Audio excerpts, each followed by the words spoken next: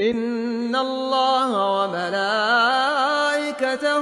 يصلون على النبي يا أيها الذين آمنوا صلوا عليه وسلموا تسليما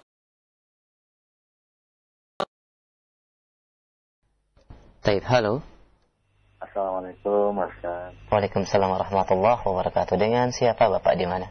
Dengan Ali Ahmad di Brebes. Pak Ali Ahmad, silakan Pak. Ya.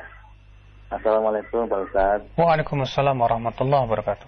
Uh, saya mau tanya, ini saya pernah membaca di buku ada doa yang namanya doa Kanzul Ars. Kanzul Ars, Pak. ya? Hmm. Ya, Kanzul Baik. Ars itu uh, katanya di dalam buku itu disebutkan uh, malaikat Jibril turun waktu itu Rasulullah SAW sedang sholat duha.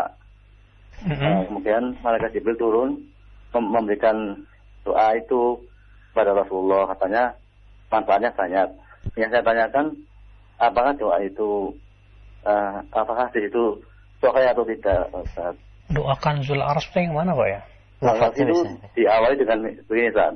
La ilaha illallah subhanal malikul qudus misalnya. Terus la ilaha illallah subhanal azizul jabbar.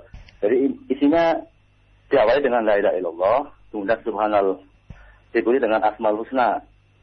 Dan seterusnya sampai sebanyak-banyaknya itu sekitar ada 112 kalimat seperti itu. Itu artinya atau tidak? Mhm. Baik. Ya terima kasih Mas Ustaz. Assalamualaikum. Waalaikumsalam warahmatullahi wabarakatuh. Jazakallah khair Pak Ali Ahmad. Eh, tentang masalah ya doa seperti itu, saya belum menemukan satupun hadis ya yang menyebutkan tentang doa-doa seperti itu. Yang jelas ya, ucapan la ilaha illallah ya subhanal malikil kudus dan yang lainnya itu memang ada riwayat-riwayat secara tersendiri.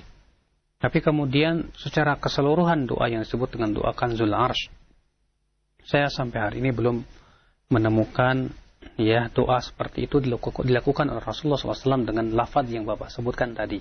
Ya dengan yang Bapak sebutkan tadi. Maka dari itu ya perlu ditelusuri dan juga Bapak bisa tanyakan kepada orang atau kiai yang mengamalkannya ya siapa yang meriwayatkan doa tersebut dari mana bukunya supaya juga kita bisa memeriksanya ya. Dan saya coba juga di saya cari di maktabah syamilah ternyata tidak ditemukan Allah Nah,